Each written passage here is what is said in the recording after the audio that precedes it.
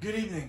My name is Ryan Stanton, and today I will be presenting a PowerPoint presentation on a topic that I feel I have learned a lot from, and I feel hopefully that I can share some of this knowledge that I've learned with you.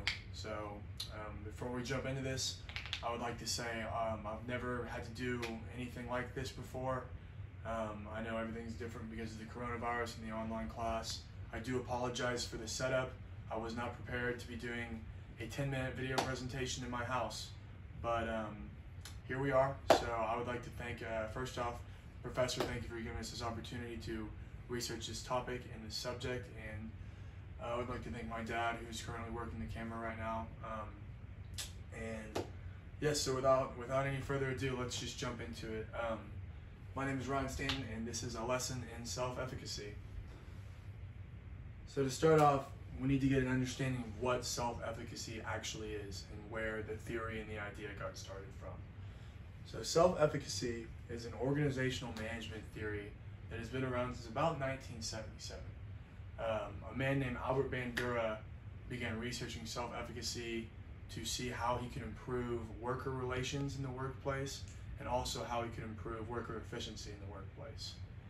Um, self-efficacy nowadays is a topic of many research articles. Um, it's a very fascinating subject, and I think a lot of people are interested in it because it can overall increase it can increase an individual's work output, and um, when that happens, it can the overall company's output will increase, and the company will see drastic changes in the upward direction in pricing and and uh, and profits. So obviously everyone wants profits these days, so that's why it's such a big uh, big theory right now. But as I mentioned earlier, um, it is a relatively new theory. Um, many theories um, about organizational behavior have been around since the 30s and the 40s. Um, but yes, this one was not created until 1977. So that's just a little basis of what self-efficacy is. Now let's talk about what it means. Um, self-efficacy, a lot of words that you hear with the pronoun self are, you know, self some self-help. You hear self-assured. You hear self-conscious. Um, I feel like self-efficacy doesn't really fit into that category very well. Um, the best way to describe self-efficacy as it relates to an individual is it's similar to self-confidence, but it, it goes deeper into who you are as a person and who you are as a worker within an organization. So let's go ahead and dive right in. Um, there's four main components of self-efficacy, and during this presentation, I'd like to break those individual components down and show what they mean, how they affect you, and what you can do to improve them, as well as throw in, some personal anecdotes on how I've seen these components play out in my life. So, first of these, here the four, the four components um, of self-efficacy and the self-efficacy process. Uh, the first one is enactive mastery experiences.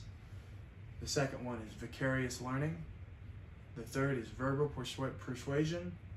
And the fourth is kind of a double. It's psychological and emotional arousal. So we're to go ahead and dive into them individually and break them down. Uh, this first one, enactive mastery experiences. Enactive mastery experiences are my personal favorite way of increasing self-efficacy, and they're best described by it's a hands-on learning experience. So when you engage in an active mastery experience, you physically do the work or accomplish the task that you're that you have been designated to do, and through this enactive mastery learning experience, you give yourself confidence that you can accomplish the task, as well as you learn how to you learn how to accomplish the task. So in the future, it uh, will not be as daunting. So it's it's a hands-on learning process.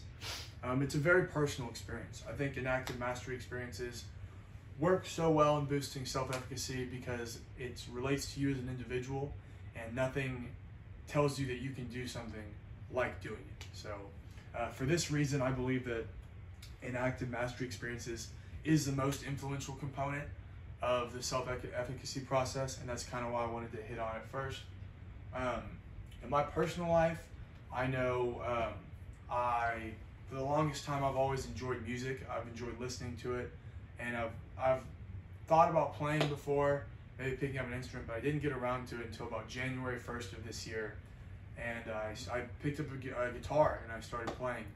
And um, at first, it was really tough. It was a real struggle, uh, trying to learn everything from scratch with no really prior knowledge other than the fact that I'd listened to music before. And um, it got really it got really tough. I'm, there was for the first about month or two, I didn't have very much self confidence in myself. I was playing the chords wrong. I couldn't get any rhythm going, and I certainly couldn't master any songs. And, uh, but I continued to push forward, and I eventually learned a, uh, a couple of my old favorite classics from back in the day, some simple songs. And um, I feel like once I learned these first couple of songs, the learning became much easier and it became much more enjoyable because I gained that enactive mastery experience in being able to learn those songs and performing them. So that's how uh, enactive mastery experiences has manifested itself in my life. Uh, moving on, the second, uh, the second component of the self-efficacy process that I will be discussing is the vicarious learning process. Um, vicarious learning is uh, is another very influential component of gaining self-efficacy, and uh, it's it's defined by a couple of things. The first one, visual cues, visual and audio cues. Um, vicarious learning occurs when, say, my, you know, you want to learn how to um, how to you want to become proficient in Excel. It's a, a word processing system. A vicarious learning experience would be one in which you you watch somebody become proficient in Excel, and through watching them accomplish that task, it gives you the self confidence that you need to attack that task. You know, increase your self efficacy. Um, one kind of simpler way to put it, it's a it's in a saying is always time, but I believe it's true to this day. It's monkey see, monkey do, and um, so like I was saying, by seeing somebody accomplish the task that you're looking for, and you're trying to accomplish, you will be able to increase your self-efficacy and hopefully accomplish that task as well.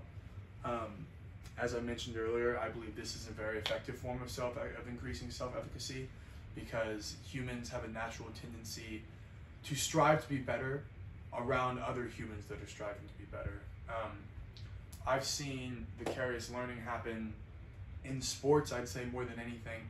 Um, I mentioned in my, my article uh, a few days ago, um, growing up playing baseball all the time, the, the, the hardest thing to do is to hit a home run. And that's, that's what you want to do, that's what everybody's goal is.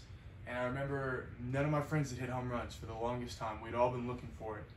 And uh, this one summer, like I mentioned, nobody had done it before, but my buddy Chase, he stepped up to the plate and he hit this home run. And uh, me and my teammates watching him do that, that was a vicarious learning experience.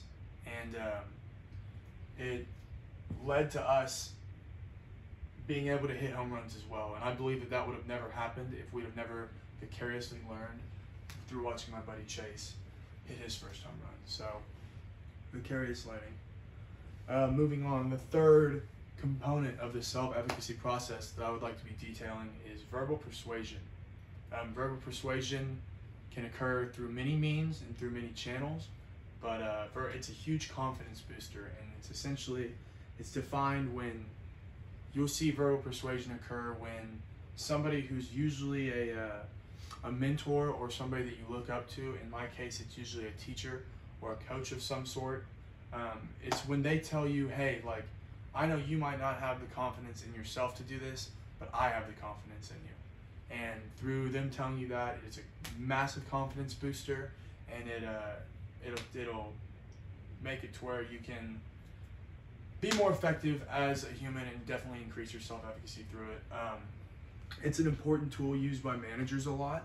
Um, a lot of times, especially with new recruits and new hires, they don't know what they're doing in the office. They might be a little nervous or timid, but um, having a manager that look can look you in the eyes and say, "I believe in you, and I believe in your ability to learn this and to accomplish this task," that's a beautiful form of verbal persuasion, and it's a great way to increase uh, new employee self-efficacy. Um, in terms of a personal perspective, uh, I've been fortunate enough to have very loving parents who, when I didn't feel like I could accomplish a task and I didn't think that I could strive to reach this goal, um, they would tell me, Ryan, you can do this. We believe in you and we trust in your abilities to do this. and it was always a massive confidence booster and definitely increased my self efficacy. Um, um, so moving on, the fourth and final um, component of the self-advocacy process that I would like to be discussing is psychological and emotional arousal. Um, psychological and emotional arousal, I know the other three are all more um, kind of mental things that you can do, or, or they're actually physical things that you can do to increase your self-advocacy. The reason I think psychological and emotional arousal is so interesting and intriguing is because it's a personal mental thing. Um, the psychological and emotional arousal theory of self-efficacy, uh, in, increasing self-efficacy, um, stems from feelings and mindset. Uh, it's you'll see it defined as I know for me personally. If I go into uh, if I go into a class or a project and I have um, you know been struggling in something outside of that task or project, it will in turn make that task or project more difficult to do. Um, uh, as I was mentioning, uh, psychological and emotional arousal, arousal, while it can be a confidence booster and it can increase your self-efficacy, one thing I think is interesting about it is it can also decrease your confidence and decrease your self-efficacy. Um, I know um, the biggest, one of the bigger players in the psychological and emotional arousal aspect of the self-efficacy process is depression. Um, I'm thankful. I'm thankful and fortunate enough that I do not struggle with depression, but I have friends and family members that have struggled with depression, and I've seen how it manifests itself, and it, it it's a confidence. It's a confidence killer. It's very hard to accomplish a task, and whether it be school or work, when you feel like you can't hardly accomplish your own personal feelings and your own personal needs to get them to where they need to be. Um, uh, the other thing about psychological and emotional arousal is is uh, it's backed by science. This one is the most scientifically backed uh, form of increasing your self-efficacy. Um, one thing that I like to do to, uh, to personally display this is before I go into a big test or before I have a big meeting or presentation, I like to sit down for a couple minutes and kind of gather my thoughts and uh, I guess psych myself up is the best term to put it. And I feel like if I do this and I take the time to put myself in a good mindset before accomplishing a task or trying to achieve a goal, I have found that it has consistently worked through increasing my self-efficacy and as well as my self-confidence. And um, so that is my presentation about self-efficacy. Um, thank you for tuning in and listening. I hope that this has been as informative as it is um, exciting. And um, thank you very much.